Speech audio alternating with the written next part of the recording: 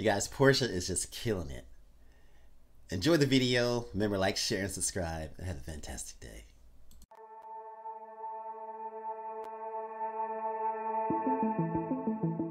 To win in this race, you go through hell. You have a very narrow track, driving 270k, not knowing if you'll make the corner. But that's why we are racing driver. We want to go at the limit. When you achieve that on the Nordschleife, you feel good. It's going to be a tough race. It looks to be fully dry, so it's going to be very, very fast. Start's going to be a part of the race where you make the biggest difference. In about an hour's time, it will get real. Leading the Porsches here into the race is a great feeling, of course. The bigger job is ahead of us, 24 hours of full push. The competition is huge, very important to try to calm down. This is the moment where you stop thinking too much, try to rely on your instinct, and you just do the best you can.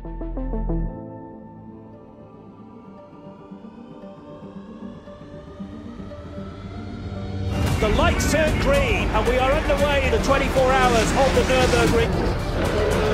Good start.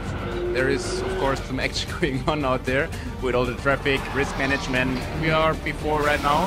Happy with that. We were fighting for positions. I think we had a good strategy. Everything was going right. On the braking in the last corner, the tire exploded on turn in. I lost the car, I hit the barrier. Not too strong, but enough to make a lot of damage on the bodywork. Yeah, it's very sad.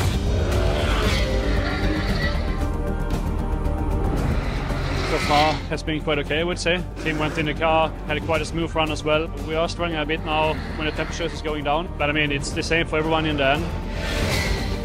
We hope the car will be fast throughout the night, we can gain some position, and be at a good place when the morning starts.